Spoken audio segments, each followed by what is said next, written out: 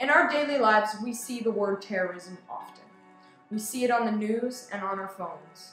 Today we will be focusing on one specific terrorist organization, the IRA, or the Provisional IRA to be precise. So, who are they?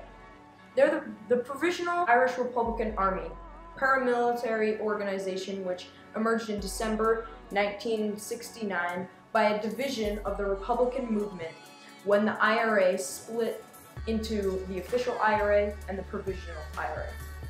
While the original IRA renounced to violence and seeked peaceful manners, while their objectives, PIRA, stood out because of their violent operations. They're seen as the successors of the original IRA. They're the, the provisional Irish Republican Army wanted to re remove Northern Ireland from the UK and then establish an independent republic. But to achieve those means, they decided to leave politics apart and use their weaponry instead.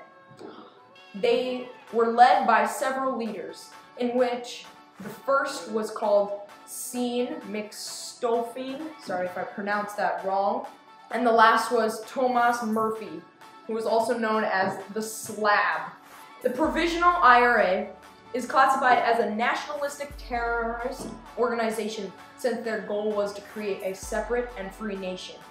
Their chaotic operations include bombings and assassinations. Although all the attacks focused in northern were focused in Northern Ireland, where their base of operation was set, they also attacked Europe, attacked Europe and England as seen in, this map.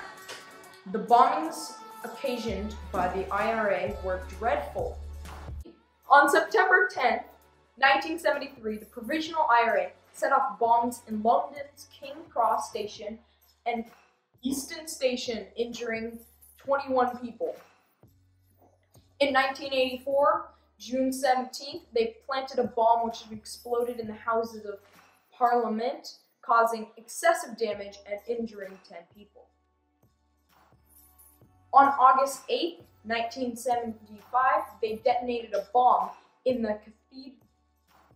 In, and on August 8, 1975, they detonated a bomb in Caterham Arms Pub in Surrey, 400 yards from the army barracks in Caterham.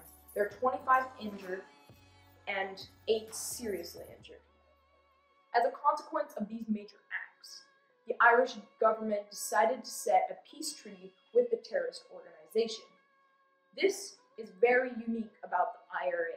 They are one of the only terrorist organizations that has come to a conclusion with their government.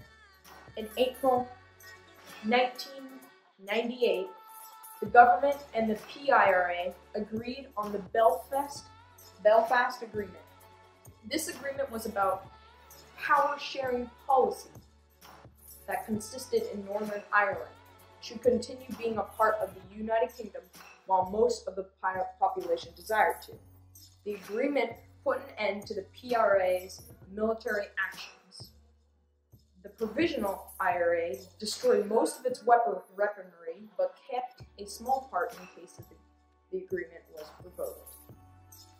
Finally, on July 28, 2005, the organization announced that they had ended their armed campaign and they would follow peaceful ways of achieving their goals. To learn more about the IRA and other terrorist groups, click on the link below and subscribe for more. Thank you.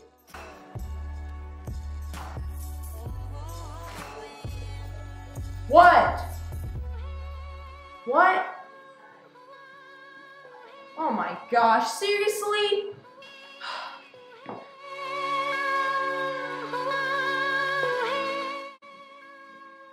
Thank you. They're like butting in. Dude, like what the heck? Leave me alone.